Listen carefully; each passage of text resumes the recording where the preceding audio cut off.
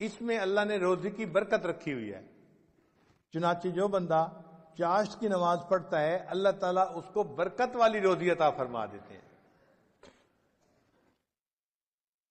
अब बहुत सारे लोग अपने दफ्तरों की वजह से ये लंबी नमाज़ तो नहीं पढ़ सकते, मगर कम अज कम दो रकत तो पढ़नी चाहिए, एंट्री तो हो जानी चाहिए।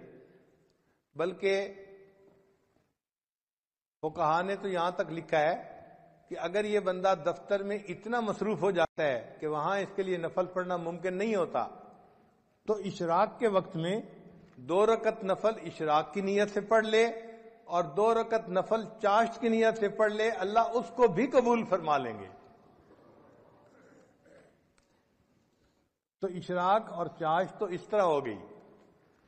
फिर उसके बाद तीसरी नमाज़ है, जिसको सलाते अवाबीन कहते हैं। वो मगरब के बाद छह रकत पढ़नी होती है नफल, मगरब और इशा के दरमियान में। कोई मुश्किल नहीं, अगर इंसान हिम्मत कर ले तो पढ़ सकता है।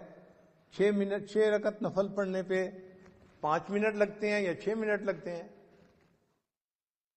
लेकिन अजर पता है कितना? हदीस पाक में है कि जो बंदा अवाबीन के छह रकत नफल पढ़ता है, अल्लाह उसको बारह साल की इबादत का सवाब अता फरमा देता छह रकत पढ़ने पर बारह साल की इबादत का सवाब मिला तो सोचिए ये कितना बड़ा इनाम है।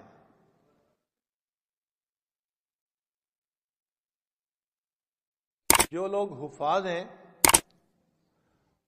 वो तहजद में कुरान पढ़ा करें, मंजिल जो होती है नफलों में। अगर तहजद में उठना मुश्किल है तो फिर दूसरा तरीका मगरब और इशा के दरमियान। दो रकत, चार रकत में अगर एक पारा पढ़ ले तो उनके कुरान पाक की मंजिल पक्की रहेगी हमेशा।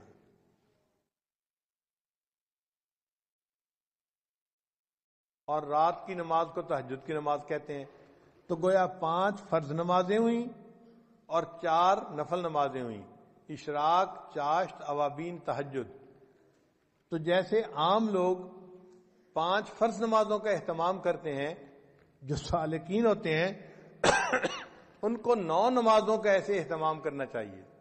उनके लिए ये चार नमाजें भी मोहब्बत की बिना पे फ़र्ज़ की मानद होती हैं। हैं, नफल नमाजें। लेकिन मोहब्बत के मैदान में वो इस तरह इसको अदा करते हैं जैसे फ़र्ज़ होता है।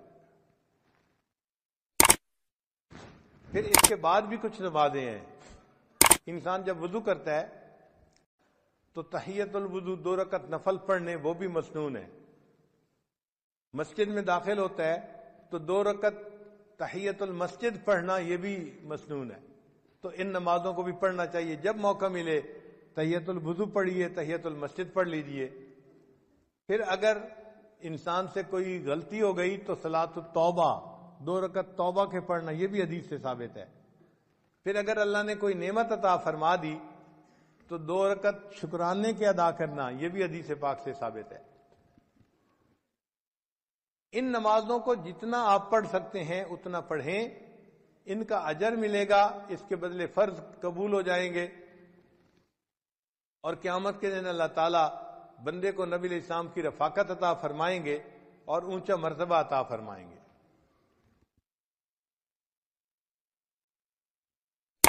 और एक खास नुकता इन नवाफिल को पढ़ने के लिए यह है कि नवाफिल को छोड़ा ना करें। क्यों?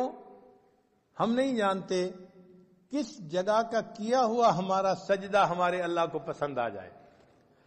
तो ये सोचा करें कि हो सकता है, ये जो नफल नमाज़ में पढ़ रहा हूँ, मेरा ये सजदा मेरे मालिक को पसंद आ जाए।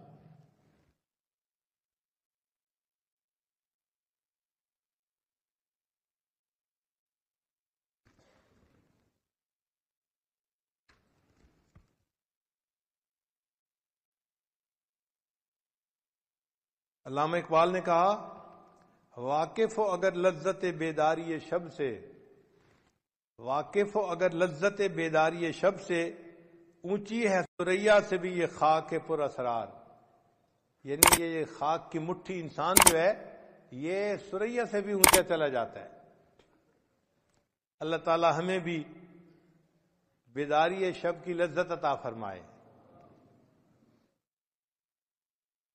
तेरी महफिल भी गई, चाहने वाले भी गए, शब की आहें भी गई, सुबह के नाले भी गए।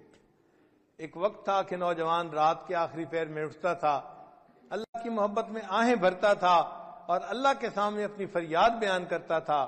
आज रातों को उठने वाले बहुत थोड़े हो गए। इस कहतुर रिजाल के दौर में दिलों में ये नीयतें कीजिए कि हम इन नवाफिल को बाकायदगी से पढ़ेंगे और तहजद को पाबंदी की, पाबंदी के साथ पढ़ेंगे और अल्लाह की इबादत करेंगे, अपने अल्लाह को मनाने की कोशिश करेंगे। अल्लाह ताला हमारे मामला को ठीक कर दे और हमें अल्लाह ताला अपने मकबूल बंदों में शामिल फरमाए। व आखिर दावाना अनिलहमदिल्ला रबालमी